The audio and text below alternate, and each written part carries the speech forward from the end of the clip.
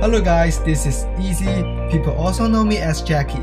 I graduated from Wisconsin Lutheran High School and currently I'm a sophomore at FIT. It stands for Fashion Institute of Technology.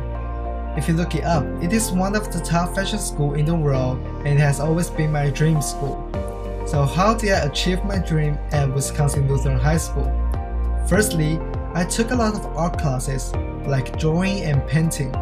WLHS has a huge collection of different art materials, so you can try out different type of art styles in here and find out the one that fits you the most. Secondly, WLHS is the first school that I knew to provide a fashion program for the high school students. I attended to the program and I have learned sewing and also I have done many projects in here, such as a velvet vest, a tie, and also different garments.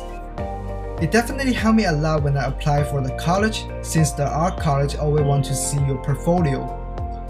Last but not least, from your academic counselor to Mrs. Lyer and Mr. Dewey to your art teacher or even your classmates will know your pursuing target, so they will always encourage you and by your side whenever you need them. So, if you're interested in art and want to study art in the future, don't forget to put Wisconsin Lutheran High School as your primary choice. If you have any further questions about how to apply for the art college or if you want to know more about FIT, feel free to ask Mrs. Lyer for my contact information.